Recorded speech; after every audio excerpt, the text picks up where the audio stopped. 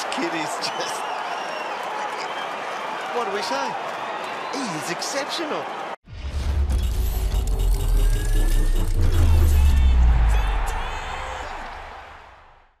Judd runs around on the 50, fires, good looking effort.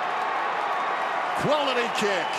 And the other thing that uh, Leigh Matthews has done is move Justin Leppitsch to the half forward line. Gardner hooked it down. Sampi somehow finished up with it to Judd. Going at his second here. You would like his chances, Chris Judd. He's a wonderful finisher.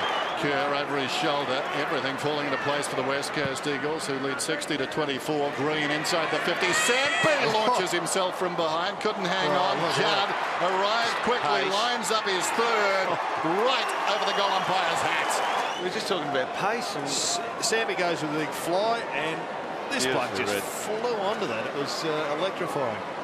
he could have bounced then, taken them on and gone to the line too.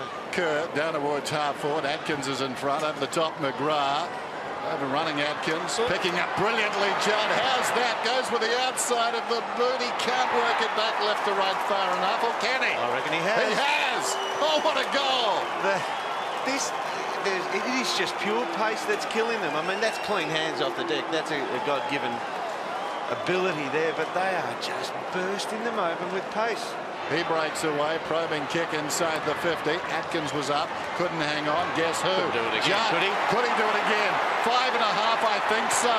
I think Oh. so. Oh, this kid is just...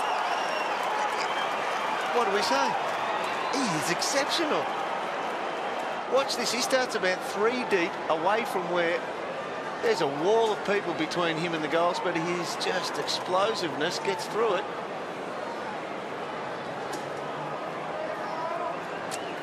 I'm not speaking because I just don't know how to wrap it up. You, That you're shattered. I, I am You- shattered. You thought it was going to be a player for player swap. Now you know it's two players for one player.